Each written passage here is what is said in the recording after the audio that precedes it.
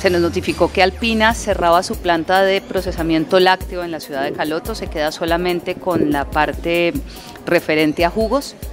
Es una situación muy compleja, en mi opinión muy grave, porque no solamente son los 218 empleados que ya ayer fueron al Ministerio de Trabajo a básicamente sacar de la nómina, o sea, 218 familias que no van a tener que comer en el municipio de Caloto, sino lo que eso implica en el largo plazo. Es decir, esta planta de, Alpina es la planta que compra de la mano de Alival y de Alquería la producción láctea del departamento del Cauca. Lo que no se transforma aquí, que nosotros lastimosamente todavía no tenemos grandes empresas transformadoras, más que unas pocas, eh, el resto de la leche se va para el norte. Y entonces, pues si Alpina no va a estar allí, ¿qué vamos a hacer con la leche? O sea, es una situación muy compleja. Em, nosotros eh, inmediatamente pues, le, avisamos al, comité porque yo pienso que esta es una mezcla de dos cosas. Primero, el impacto negativo que tuvo en el, todo el sector industrial del norte el levantamiento social del, del, 2021. Eso fue durísimo y Alpina sufrió mucho porque la leche es muy corrosiva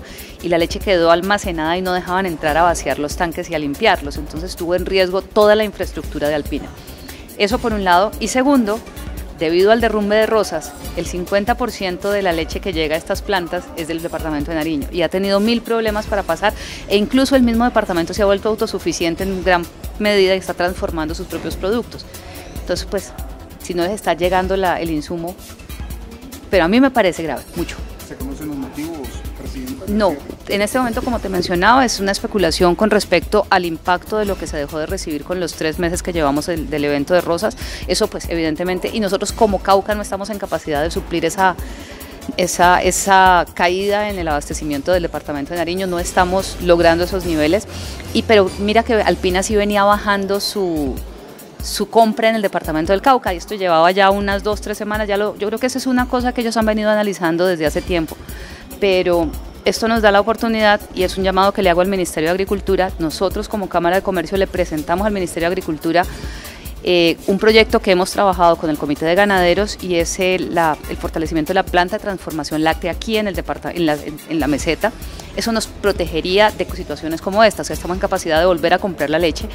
Eso lo tiene el Ministerio de Agricultura, eso está con estudios, con todo, y esta, esta madrugada precisamente yo estaba en contacto con el Ministerio de Agricultura diciéndole, vea, mire lo que nos acaba de pasar, ayúdennos, porque necesitamos que nos den el empujón por ese lado. ¿Ese punto de Alpina de Popayán? No sirve ya, no sirve ya porque el desarrollo eh, urbanístico alrededor ya no le permite ese uso de, suelo, que es lo mismo, que es lo mismo que pasaba con Avícola San Marino en, en la Vente Cajibío.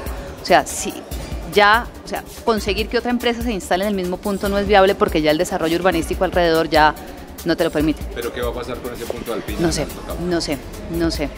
No tengo idea. Sería interesante saberlo porque es un, es un sitio estratégicamente bien ubicado. No sé qué, planes tengan, pero la, la, planta tendría que ser por fuera del municipio, o sea, o por lo menos en la parte rural del municipio de Popayán.